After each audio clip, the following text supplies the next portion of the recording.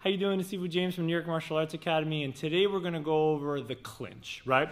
So when you clinch, you're basically going palm over palm, controlling the guy's head so you can set him up for knees, elbows. For now, we're gonna go over some of the basics of the clinch into the knee, how the proper way to exit out of the clinches, and striking off of that as well.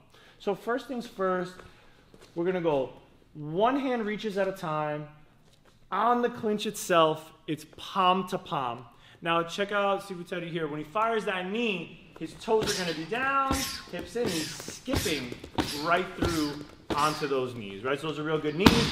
Bang, he's pushing off for that real leg hook kick. So let's go over some of the basics of what he did. He's here palm to palm, controlling the head. He's working those knees, skipping, bang, bang. He pushes with one hand, never with two, and he's firing that round kick right as his exit.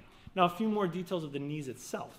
When you're firing the knees, just take a look right here at his heel. It's close to his backside, and his toes are down so that he can blade those knees and hit with the sharp part of the knee as he's firing. Again, he's gonna push with one hand, bang, on his exit, he pushes, round kick, right back to center, right? So that's a little basis of the clinch itself. Remember, palm to palm, blade those knees, dig them right into this person's belly, push off kick.